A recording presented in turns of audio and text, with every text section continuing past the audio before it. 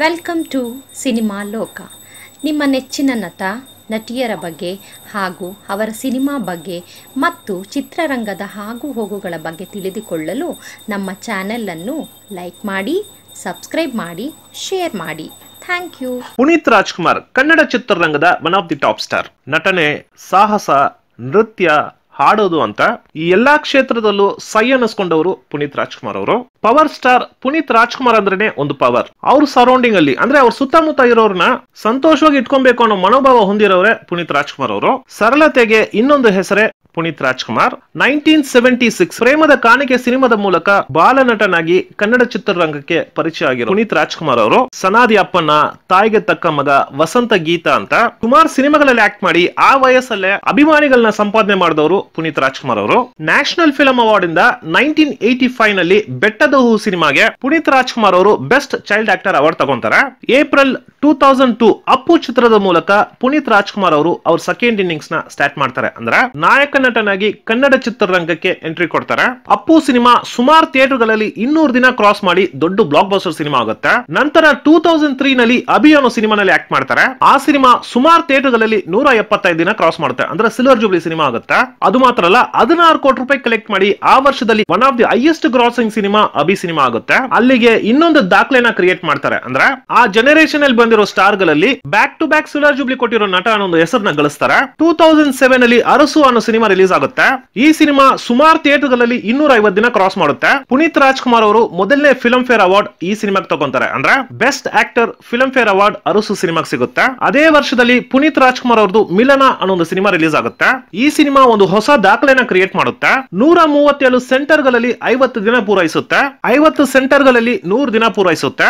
ಏಳು ಸೆಂಟರ್ಗಳಲ್ಲಿ ನೂರ ಎಪ್ಪತ್ತೈದು ದಿನ ಪೂರೈಸುತ್ತೆ. ಮುನ್ನೂರ ಅರವತ್ತೈದು ದಿನಗಳು ಮಲ್ಟಿಪ್ಲೆಕ್ಸ್ ಥಿಯೇಟರ್ಗಳಲ್ಲಿ ಪೂರೈಸಿದ್ರೆ ನಾನೂರ ಐವತ್ತು ದಿನ ಪಿವಿಆರ್ ಥಿಯೇಟರ್ಗಳಲ್ಲಿ ಪೂರೈಸುತ್ತೆ. ಅದು ಮಾತ್ರ ಅಲ್ಲ, ಪುನೀತ್ ರಾಜ್ಕುಮಾರ್ ಅವರು ಮೊದಲನೇ ಕರ್ನಾಟಕ ಸ್ಟೇಟ್ ಫಿಲಂ ಅವಾರ್ಡ್ ಈ ಸಿನಿಮಾಗೆ ತಗೊಂತಾರೆ. ಅಂದ್ರೆ best actor Karnataka state film award Milana ಸಿನಿಮಾಗೆ ತಗೊಂತಾರೆ. ಪುನೀತ್ ರಾಜ್ಕುಮಾರ್ ಅವರು ನಾಯಕ ನಟನಾಗಿ ಆಕ್ಟ್ ಮಾಡಿರೋ ಸಿನಿಮಾಗಳಂದ್ರೆ ಟೂ ತೌಸಂಡ್ ಟೂ ಅಪ್ಪು ಇಂದ two thousand twenty two James ಸಿನಿಮಾವರೆಗೂ ಮೂವತ್ತರಿಂದ ಮೂವತ್ತೊಂದು ಸಿನಿಮಾಗಳಲ್ಲಿ ಆಕ್ಟ್ ಮಾಡಿದ್ದಾರೆ. ಅದರಲ್ಲಿ ಅವ್ರ ಸಿನಿಮಾದ ಸಕ್ಸಸ್ ಪರ್ಸೆಂಟೇಜ್ ನೈಂಟಿ ಫೋರ್ ಇಂದ ನೈಂಟಿ ಸಿಕ್ಸ್ ಸಕ್ಸಸ್ ಪರ್ಸೆಂಟೇಜ್ ಇಟ್ಟಿರೋ ಸೌತ್ ಇಂಡಿಯನ್ ಫಿಲಂ ಸ್ಟಾರ್ಗಳಲ್ಲಿ ರಜನಿಕಾಂತ್ ಅವರ ನಂತರ ಪುನೀತ್ ರಾಜ್ಕುಮಾರ್ ಅವರೇ ಆ ರೆಕಾರ್ಡ್ನ ಕ್ರಿಯೇಟ್ ಮಾಡಿದ್ದಾರೆ. ಪುನೀತ್ ರಾಜ್ಕುಮಾರ್ ಅವರು ತಗೊಂಡಿರೋ ಅವಾರ್ಡ್ಸ್ ನ್ಯಾಷನಲ್ ಫಿಲಂ ಅವಾರ್ಡ್ ಒಂದು ತಗೊಂಡಿದ್ದಾರೆ. ಕರ್ನಾಟಕ ಸ್ಟೇಟ್ ಫಿಲಂ ಅವಾರ್ಡ್ಸ್ ನಾಲ್ಕು ಸಲ ತಗೊಂಡಿದ್ದಾರೆ. ಸೈಮಾ ಅವಾರ್ಡ್ ನಾಲ್ಕು ಸಲ ತಗೊಂಡಿದ್ದಾರೆ. ಫಿಲಂ ಫೇರ್ ಅವಾರ್ಡ್ ಐದು ಸಲ ತಗೊಂಡಿದ್ದಾರೆ. ಅದು ಬಿಟ್ಟು ಬೇರೆ ಬೇರೆ ಸಂಸ್ಥೆಗಳಿಂದ ಅವಾರ್ಡ್ಸ್ಗಳು ತಗೊಂಡಿದ್ದಾರೆ. ಪುನೀತ್ ರಾಜ್ಕುಮಾರ್ ಅವರು ಸಿನಿಮಾ ಜೀವನ ಬಿಟ್ಟು ಅವ್ರದ್ದು ಇನ್ನೊಂದು ಜೀವನ ಇದೆ ಅಂದ್ರೆ ಅವ್ರನ್ನ ಅವರು ಸೋಷಿಯಲ್ ಆಕ್ಟಿವಿಟೀಸ್ ಅಲ್ಲಿ ತೊಡಗಿಸ್ಕೊಂಡಿದ್ದಾರೆ. ನಮ್ ಪುನೀತ್ ರಾಜ್ಕುಮಾರ್ ಅವರ ಹೆಲ್ಪಿಂಗ್ ಟೆಂಡೆನ್ಸಿ ಯಾವ ತರ ಇರುತ್ತೆ ಅಂದ್ರೆ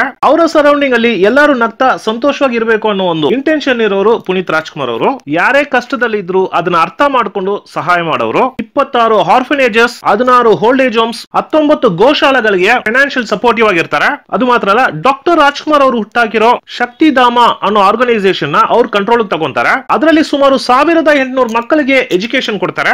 ನಲವತ್ತೈದು ಗವರ್ಮೆಂಟ್ ಸ್ಕೂಲ್ನ ಅಡಾಪ್ಟ್ ಮಾಡ್ಕೊಂಡು ಅವ್ರ ಸಿನಿಮಾನಲ್ಲಿ ಹಾಡೋ ಮೂಲಕ ಬರೋ ಇನ್ಕಮ್ನ ಆ ಸ್ಕೂಲ್ ಇಂಪ್ರೂವ್ಮೆಂಟ್ಗೆ ಡೊನೇಟ್ ಮಾಡ್ತಾರೆ. ಪಿ ಆರ್ ಕೆ ಅನ್ನೋ ಒಂದು ಫಿಲಂ ಪ್ರೊಡಕ್ಷನ್ ಕಂಪನಿನ ಓಪನ್ ಮಾಡ್ತಾರೆ. ಆ ಪ್ರೊಡಕ್ಷನ್ ಕಂಪನಿ ಮೂಲಕ ಸುಮಾರು ಜನಕ್ಕೆ ಕೆಲಸ ಕೊಡ್ತಾರೆ. ಅದು ಮಾತ್ರ ಅಲ್ಲ, ಹೊಸ ಪ್ರತಿಭೆಗಳಿಗೆ ಅವಕಾಶ ಕೊಡಬೇಕು ಅನ್ನೋ ಇಂಟೆನ್ಷನ್ ಅಲ್ಲಿ ಆ ಕಂಪನಿನ ಓಪನ್ ಮಾಡ್ತಾರೆ. ಮ್ಯಾಕ್ಸಿಮಮ್ ಫಿಲಂ ಆಕ್ಟರ್ಗಳು ಪ್ರೊಡಕ್ಷನ್ ಕಂಪನಿನ ಓಪನ್ ಮಾಡೋದು ಅವ್ರು ಆಕ್ಟ್ ಮಾಡೋ ಸಿನಿಮಾಗಳನ್ನ ಪ್ರೊಡ್ಯೂಸ್ ಮಾಡಕ್ಕೆ. ಆದ್ರೆ ಪುನೀತ್ ರಾಜ್ಕುಮಾರ್ ಅವರು ಓಪನ್ ಮಾಡಿರೋ P R K production company ಹೊಸ ಪ್ರತಿಭೆಗಳಿಗೋಸ್ಕರ ಓಪನ್ ಮಾಡಿರುವಂತ ಕಂಪನಿ ಅದು ಮಾತ್ರ ಅಲ್ಲ, ಪುನೀತ್ ರಾಜ್ಕುಮಾರ್ ಅವ್ರ ಸಿನಿಮಾಗಳನ್ನ ತಗೊಂಡ್ರೆ ತುಂಬಾ ವೈಲೇಷನ್ ಇರಲ್ಲ, ತುಂಬಾ ಗ್ಲಾಮರ್ ಇರಲ್ಲ ಡಬಲ್ ಮೀನಿಂಗ್ ಡೈಲಾಗ್ಸ್ ಇರಲ್ಲ ಫ್ಯಾಮಿಲಿ ಸಮೇತ ಕೂತ್ಕೊಂಡು ನೋಡುವಂತ ಎಂಟರ್ಟೈನಿಂಗ್ ಸಿನಿಮಾ ಆಗಿರುತ್ತೆ. Twenty ninth October two thousand twenty one ಅಲ್ಲಿ ಕಾಡಿ ಅರೆಸ್ಟ್ ಇಂದ ಪುನೀತ್ ರಾಜ್ಕುಮಾರ್ ಅವರು ತೀರ್ಕೊಂತಾರೆ. ಪುನೀತ್ ರಾಜ್ಕುಮಾರ್ ಅವರ ಫ್ಯಾನ್ಸ್ ಮಾತ್ರ ಅಲ್ಲ ಜನರಲ್ ಪಬ್ಲಿಕ್ ಕೂಡ ಆ ಒಂದು ಶಾಕ್ನ ತಡ್ಕೊಳಕ್ಕಾಗಲ್ಲ.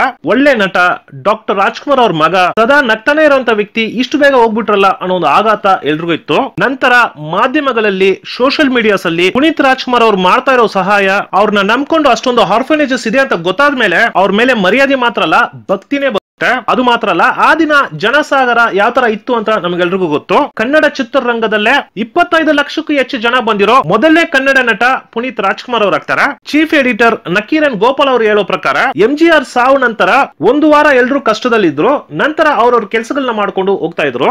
ಅದೇ ತರ ಕರುಣಾನಿಧಿ ಅವ್ರಿಗೂ ಆಯ್ತು, ಜಯಲಲಿತಾ ಅವ್ರಿಗೂ ಆಯ್ತು. ಆದ್ರೆ ನಾನ್ ಬ್ಯಾಂಗ್ಳೂರ್ ಏರ್ಪೋರ್ಟ್ ಬಂದು ಇಳಿಯುವಾಗ ಅಲ್ಲಿ ಪುನೀತ್ ರಾಜ್ಕುಮಾರ್ ಅವ್ರ ಬ್ಯಾನರ್ ನೋಡಿದ್ದೆ. ರೋಡ್ ಉದ್ದಕ್ಕೂ ಅವ್ರ ಬ್ಯಾನರ್ಗಳು ಇತ್ತು, ಅದು ಮಾತ್ರ ಅಲ್ಲ, ಗಲ್ಲಿ ಗಲ್ಲಿಗಳಲ್ಲೂ ಪುನೀತ್ ರಾಜ್ಕುಮಾರ್ ಅವ್ರ ಬ್ಯಾನರ್ ಇಟ್ಟು ಪೂಜೆ ಮಾಡಿದ್ರು. ಆಗ ನನಗೆ ಗೊತ್ತಾಯ್ತು ಕರ್ನಾಟಕ ಜನತೆ ಪುನೀತ್ ರಾಜ್ಕುಮಾರ್ ಅವ್ರ ಮೇಲೆ ಎಷ್ಟೊಂದು ಭಕ್ತಿ ಇಟ್ಟಿದ್ದಾರೆ ಅಂತ ಚೀಫ್ ಎಡಿಟರ್ ನಕೀರನ್ ಗೋಪಾಲ್ ಅವರು ಹೇಳ್ತಾರೆ. ಒಬ್ಬ ಸಿನಿಮಾ ನಟ ಮನೋರಂಜನೆ ನೀಡೋದ್ರಲ್ಲಿ ಮಾತ್ರ ಅವರ ರೆಸ್ಪಾನ್ಸಿಬಿಲಿಟಿ ಆಗಿರಲ್ಲ ಅಂತ ಕನ್ನಡ ಚಿತ್ರರಂಗಕ್ಕೆ ತೋರ್ಸ್ಕೊಟ್ಟವರು ಪುನೀತ್ ರಾಜ್ಕುಮಾರ್ ಅವರು. ಸಿನಿಮಾದಲ್ಲಿ ಮಾತ್ರ ಅಲ್ಲ, ಯಾವುದೇ ಕ್ಷೇತ್ರದಲ್ಲಿ ಇದ್ರು ಎಲ್ರಿಗೂ ಸೋಷಿಯಲ್ ರೆಸ್ಪಾನ್ಸಿಬಿಲಿಟೀಸ್ ಇದೆ ಅಂತ ಅವರ ಚಟುವಟಿಕೆ ಮೂಲಕ ಸೊಸೈಟಿಗೆ ತೋರ್ಸ್ಕೊಟ್ಟವರು ಪುನೀತ್ ರಾಜ್ಕುಮಾರ್ ಅವರು. ನಮ್ ಕರ್ನಾಟಕದಲ್ಲಿ ಪುನೀತ್ ರಾಜ್ಕುಮಾರ್ ಅವರ ಹೆಸರನ್ನ ಅಳಸಕ್ಕೆ ಆಗಲ್ಲ. ನಲವತ್ತಾರು ವಯಸ್ಸಲ್ಲಿ ಇಷ್ಟು ದೊಡ್ಡ ಸಾಧನೆ ಮಾಡಿರೋ ಕರ್ನಾಟಕ ರತ್ನ ಪುನೀತ್ ರಾಜ್ಕುಮಾರ್ ಅವರಿಗೆ ಆಟ್ಸ್ ಆಫ್ ಪುನೀತ್ ರಾಜ್ಕುಮಾರ್ ಅವರು ಮತ್ತೊಂದು ದಾಖಲೆನ ಕ್ರಿಯೇಟ್ ಮಾಡಿದ್ದಾರೆ. ಅದೇನಂದ್ರೆ seventeenth March James cinema release ಆಗಿದೆ. ಈ ಸಿನಿಮಾದ ಮೊದಲನೇ ದಿನ ಕಲೆಕ್ಷನ್ ಕನ್ನಡ ಚಿತ್ರರಂಗದಲ್ಲೇ ಇದುವರೆಗೂ ಯಾವ ಸಿನಿಮಾನು ಮಾಡದೇ ಇರುವಂತ ಕಲೆಕ್ಷನ್ ಮೂವತ್ತೆರಡು ಕೋಟಿ ಎಂಬತ್ತು ಲಕ್ಷ ರೂಪಾಯಿ ಕಲೆಕ್ಟ್ ಮಾಡಿದೆ. ಎರಡು ದಿನಕ್ಕೆ ಐವತ್ತೆರಡು ಕೋಟಿ ರೂಪಾಯಿ ದಾಟಿದೆ. ಕೆಲವು ಸಿನಿಮಾ ಅನಲೈಸರ್ಸ್ ಹೇಳೋ ಪ್ರಕಾರ ನಾಲ್ಕರಿಂದ ಐದು ದಿನಗಳಲ್ಲಿ ಜೇಮ್ ಸಿನಿಮಾ ನೂರು ಕೋಟಿ ರೂಪಾಯಿ ದಾಟೋದ್ರಲ್ಲಿ ಯಾವ ಸಂದೇಹನೂ ಇಲ್ಲ ಅಂತ ಹೇಳ್ತಾ ಇದ್ದಾರೆ. ನಾಲ್ಕೇ ದಿನಗಳಲ್ಲಿ ನೂರು ಕೋಟಿ ರೂಪಾಯಿ ಕಲೆಕ್ಟ್ ಮಾಡೋ ಮೊದಲನೇ ಕನ್ನಡ ಸಿನಿಮಾ ಜೇಮ್ ಸಿನಿಮಾ ಆಗಿರುತ್ತೆ. ಇದು ಇನ್ನೊಂದು ದಾಖಲೆ. ಮತ್ತೊಂದು ದಾಖಲೆ ಏನಂದ್ರೆ ಜೇಮ್ ಸಿನಿಮಾದ ಸ್ಯಾಟಲೈಟ್ ರೈಟ್ಸ್ನ ಹದಿಮೂರು ಕೋಟಿ ಎಂಬತ್ತು ಲಕ್ಷ ರೂಪಾಯಿಗೆ ಮಾರಿದ್ದಾರೆ. ಜೇಮ್ ಸಿನಿಮಾದ ಡಿಜಿಟಲ್ ರೈಟ್ಸ್ನ ನಲವತ್ತು ಕೋಟಿ ರೂಪಾಯಿಗೆ ಮಾರಿದ್ದಾರೆ. ಕನ್ನಡ ಸಿನಿಮಾದ ಡಿಜಿಟಲ್ ರೈಟ್ಸ್ನ ನಲವತ್ತು ಕೋಟಿ ರೂಪಾಯಿಗೆ ಮಾರಿರೋ ಮೊದಲನೇ ಸಿನಿಮಾ ಜೇಮ್ ಸಿನಿಮಾ ಆಗಿರುತ್ತೆ. ಇದು ಕನ್ನಡ ಸಿನಿಮಾಗಳ ಆಲ್ ಟೈಮ್ ರೆಕಾರ್ಡ್ ಅಂತಾನೂ ಹೇಳಲಾಗುತ್ತೆ. ಅದು ಮಾತ್ರ ಅಲ್ಲ ರಾಧೇಶಂ ಐದು ದಿನಗಳಲ್ಲಿ ಕಲೆಕ್ಟ್ ಮಾಡಿರೋ ಕಲೆಕ್ಷನ್ನ ಜೇಮ್ ಸಿನಿಮಾ ಮೂರೇ ದಿನಗಳಲ್ಲಿ ಆ ಕಲೆಕ್ಷನ್ನ ದಾಟಿದೆ ಅಂತಾನೂ ಹೇಳ್ತಾ ಇದ್ದಾರೆ. ಒಂದು ವಾರ ನಂತರ ಈ ಸಿನಿಮಾದ ಎಕ್ಸಾಕ್ಟ್ ಕಲೆಕ್ಷನ್ ಏನು ಅಂತ ಗೊತ್ತಾಗ್ಬಿಡುತ್ತೆ. ಓಕೆ ಸ್ನೇಹಿತರೆ ನೆಕ್ಸ್ಟ್ ಟೈಮ್ ಬೇರೆ ಒಂದು ಸಿನಿಮಾ ಜೊತೆ ಬರ್ತೀನಿ. ಅದುವರೆಗೂ ಥ್ಯಾಂಕ್ ಯು ಬಾಯ್